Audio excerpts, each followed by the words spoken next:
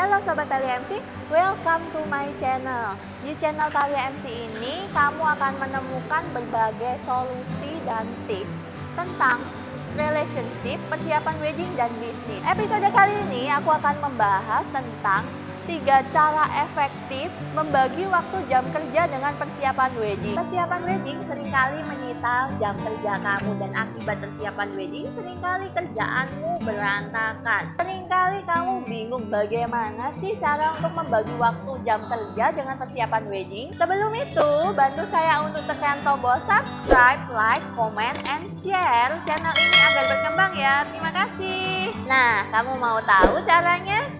Kita lanjut setelah yang satu ini.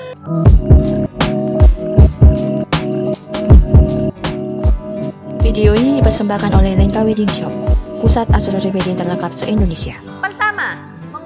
Situs-situs pernikahan. Di sela-sela pekerjaan yang menumpuk, mengunjungi situs pernikahan tentu tidak akan menyita banyak waktu jam kerja kamu. Sehingga apabila waktu kamu terlalu sempit untuk mencari satu persatu vendor di luar, memilih vendor melalui situs pernikahan merupakan salah satu solusi praktis yang terbaik. Dan di situs tersebut kamu juga dapat melihat portofolio para vendor. Dan sebelum memilih, pastikan dengan mengecek testimoni dari para pengantin yang telah ditangani oleh para vendor tersebut. Dua, selesaikan pekerjaan lebih dulu. Yang pertama harus kamu lakukan yaitu menyelesaikan pekerjaan lebih dulu. Karena apa? Karena biasanya dan kebanyakan orang kalau sudah melakukan persiapan wedding pasti tidak ada waktu untuk menengok pekerjaan lainnya.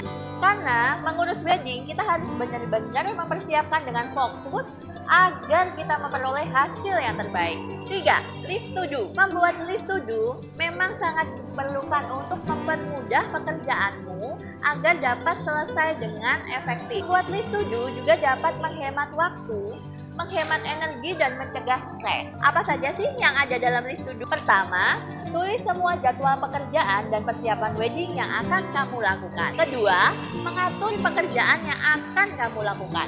Ketiga, susun jadwal yang akan kamu lakukan selama beberapa hari ke depan. Dengan list to do, kamu akan lebih mudah mengatur waktu kerja dengan persiapan wedding kamu. Nah, itu tadi tiga cara untuk membagi waktu jam kerja dengan persiapan wedding versi Italia MC. Jika kamu punya saran untuk membuat konten apa selanjutnya, tulis di komentar ya. Support saya dengan cara like, comment, subscribe, dan share channel ini.